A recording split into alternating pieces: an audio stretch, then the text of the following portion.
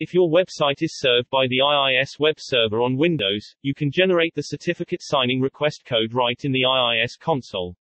For this, click on the Start button, and search for IIS. After opening the IIS console, double-click on Server Certificates.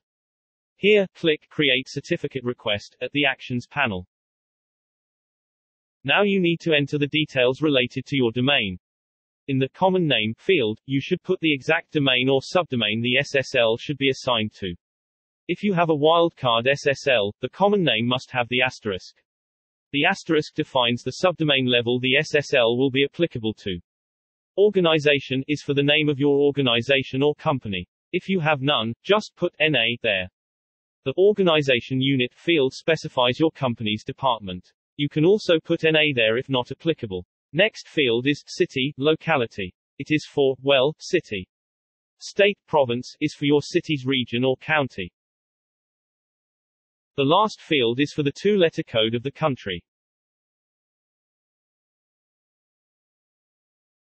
Now hit Next to proceed.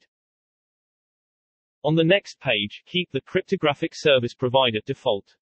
As for the bit length, select either 2048 or 4096.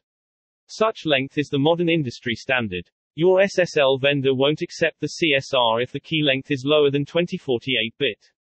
Press Next again. Then, click the Browse button and go to the directory where you want to save the CSR code. Enter the file name and press Open. Now we are ready to press Finish.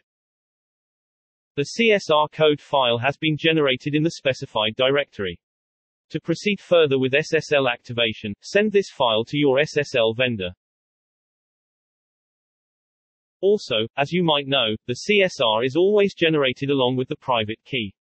Unlike on GNU, Linux-based servers where you get both the CSR and private key files, the key on Windows is stored at the system's backend. You shouldn't bother about this if you intend to install the SSL at the same server, but if you are going to install it elsewhere, you will have to export the key in a certain way. The link to the related video is at the top right corner of the page. If this video guide helped you, please hit the like button.